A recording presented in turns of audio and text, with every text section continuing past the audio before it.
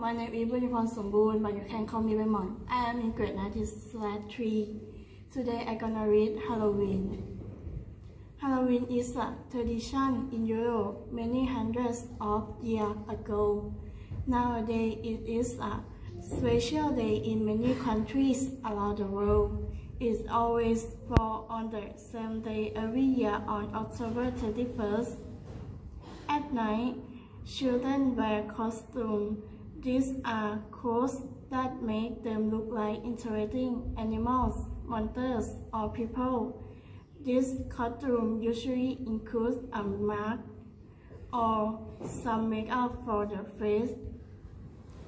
For example, on Halloween, you might see an elephant, a witch with a tall black hand, or maybe even a spooky ghost.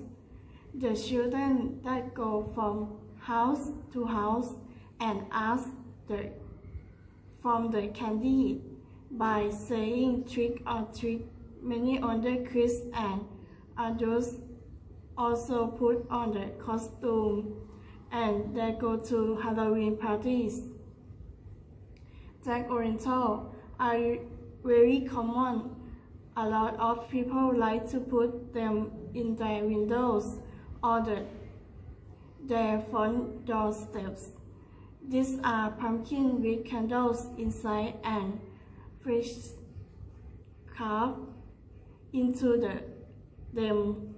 Usually, most people have a lot of fun on Halloween. Happy Halloween, everyone! Vocabulary Jack Oriental Costume Monsters Ghost Trick or Treat Game Wish Pumpkin Candy Question and answer. What costumes do they wear? They wear interesting animal, monster, or people.